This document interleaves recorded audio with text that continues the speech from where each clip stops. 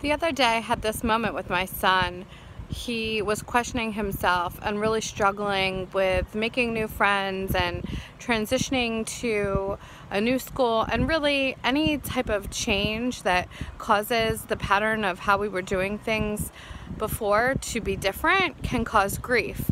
And so I might not have realized at the time that he was grieving um, his old school and his old friends. And then the Holy Spirit just led me to, to look at him and, and take a moment in our hectic, busy morning to put my forehead on his forehead and look right into his eyes and speak truth. I had a day similar to his, just questioning who I was and if I'm capable of doing the things I feel God calling me to, uh, things that I feel like are bigger than my ability, my strength, what comes naturally to me. And I'm just, I felt like the Holy Spirit said, let me do that to you. Let me put my forehead on yours. Let me speak truth into those lies. Let me redefine who you say you are. And so I was thinking, how, how, Lord, how are you going to do that? Like, I can't see you. I, I, I can't where you're so far away sometimes and um, he's like you're my word my word, let it wash over you. Let it redefine who you say you are. And so I have some scriptures of encouragement for you. If you are doubting who you are, if you're struggling with a transition, struggling to find hope and peace um, in what you're called to, like here we go. And you know what? I don't care how long this goes, and I don't care if this annoys people. Like people need to know that. John 1:12. If you receive him, you have the right to be children of God. Did you hear that? I'm putting my forehead, I'm putting this scripture into you, speaking this over you. If you have received him, you are his daughter, you are his son. Ephesians 1 5. It pleased God to adopt you as his daughter, as his son. It pleased God to adopt Catina as his daughter. Romans 15 7. I am accepted. I will accept others. I love it, love it, love it, love it. Catina is accepted. She will accept others. She will not be threatened by other women and their abilities. She can accept other women. She has been accepted. Yes.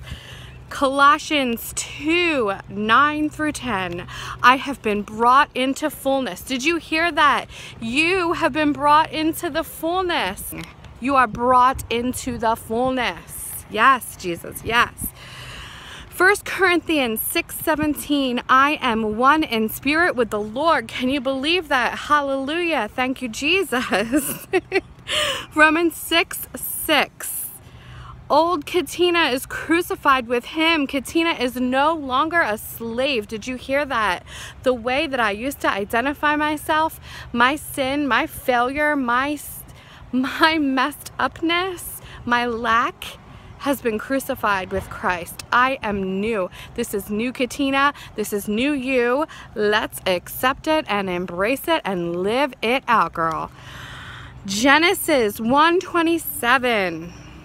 Catina is created in God's likeness. Did you hear that? You have been created in the likeness of God, in His image. That's amazing. So the next time you want to define yourself by all the things that you're failing at, all the things that you fall short in, ever other way you want to define yourself, remember that God wants to put his forehead on your forehead and speak truth. He wants to look you in the eyes and declare who you are and who he sees you to be.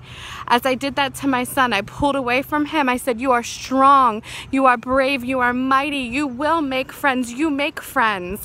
You are brave, you are fast, you're creative, and you make me laugh. I spoke over him, and as I pulled my face away from his, I saw tears streaming down his face. And I thought, wow, what amazing power we have to speak truth into other people's darkness. But it starts with us. Stop living out of your brokenness, out of your fear, out of your misperceived identity, and start living out of the fullness of Christ. Yes. Hallelujah. Truth, hope, griefandhopeconnect.org.